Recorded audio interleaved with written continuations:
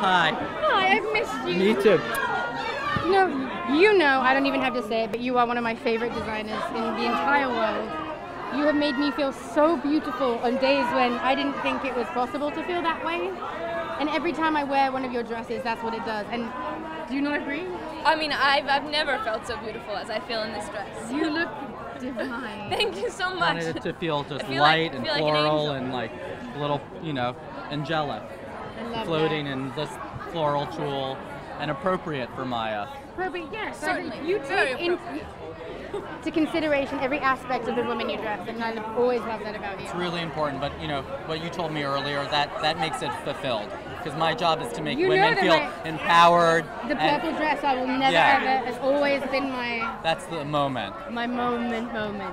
Well, we'll have more to come. I know it. I cannot wait. I know it. Now, what are you both most looking forward to this evening? Besides this part where you get to wear the dress and walk the carpet and see everyone. This is the part I was most scared Well, of. I'm always looking forward, you know, to seeing, you know, what the young guns bring. I know it's very. It's always scary. I was nominated three years in a row before I won, and I was 21, 22, and 23, and it was terrifying. But just to be nominated and to be recognized by a group of your peers Huge. is such a big deal. Very big deal. And I felt like they almost tortured you because they knew how good you were, so they said, "We'll let him wait a few more years." And never nominated again, which is fine.